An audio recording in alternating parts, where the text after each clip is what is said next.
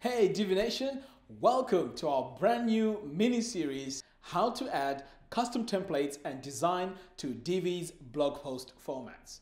The blog is one of the most important parts of your website because this is where all your dynamic content resides.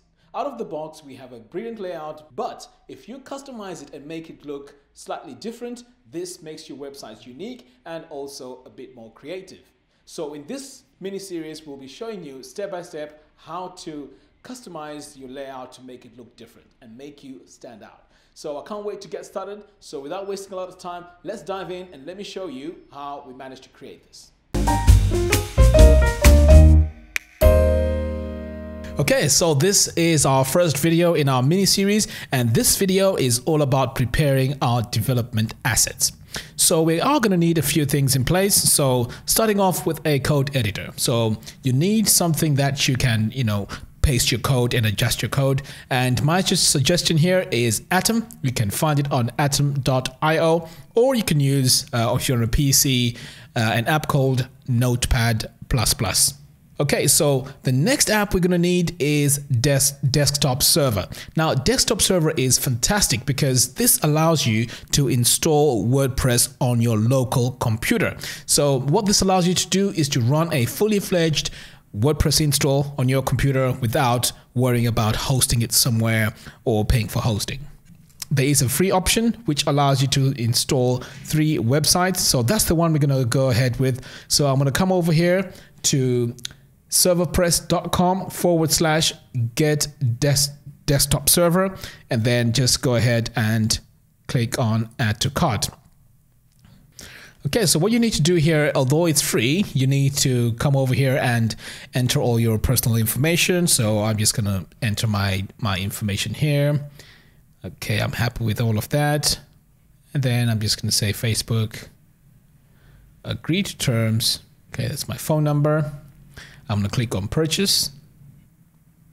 Okay, so now that uh, we are here on this page, we have the latest version here right at the top. So that's the one I'm going to download. So I'm just going to click on this and it's downloading onto my computer. Okay, so the download is complete. So what I'm going to do is to go ahead and set it up. So I'm just going to click on it and we can see here on the desktop that it's unpacking.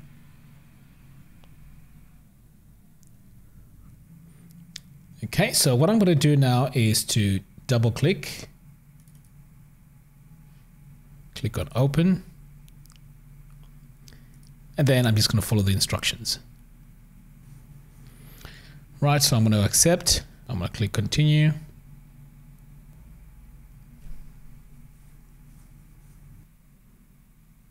So I'm just going to click on OK and click on finish.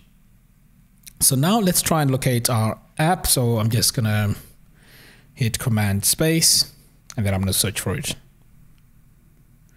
Okay, so it's right here. I'm to double click. Okay, so what I'm to do here is to create a brand new development website. So making sure that create a new development site is checked. I'm to click on next. So here is where you can give it a name. So I'm just to call this dev.dev. Okay, so I'm going to go ahead and click on create. So what's happening now is it's installing all our WordPress files. So next, so we can see here that uh, pretty much we are ready. So I'm going to go ahead and click on next. Click on sites. Now I'm able to see my site and we can see here it's on dev.dev. I'm just going to click on that to visit the site. And then we need to continue and install WordPress. So I'm going to click on continue and you can, you can give it a site name. I'm just going to call this dev. Give it a username. I'm just going to call it MacAdmin. So because this is on my local computer, I'll just put a basic password in here because I don't have to worry about security. Okay, I'm going to go ahead and confirm the weak password and then I'm going to enter my email address. Like that.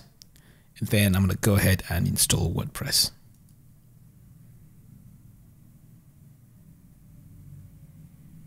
Okay, so now you can see that um, WordPress is now installed. You can go ahead and update to the latest uh, version of WordPress by clicking this button, but we're not going to do that right now. So let's go ahead and install Divi. So we're going to come over here to themes and then we're going to click on add new. I have Divi downloaded onto my computer already. So I'm just going to click upload theme, choose file, and then I'm going to go to my downloads folder and it's right here. I'm going to install it and then I'm going to go ahead and activate it. Okay, so now we are running the uh, uh, we are running WordPress on our local computer. So I'm just going to go ahead now and just visit the site and just make sure that it's Divi running. So we can see here that it's this is Divi that's running on my computer. The next thing we're going to need is a child theme. And what I'll do is instead of going through the whole process of setting it all up, we have a resource which will show you step by step how to do this. So what I will do is I will link to the resource in the show notes below.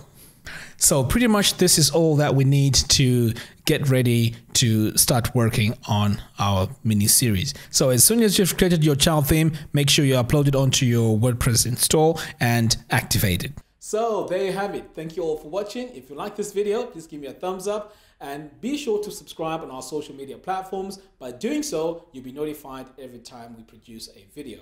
We are going to be producing more videos similar to what you're seeing today. So until next time, thanks for watching and see you soon.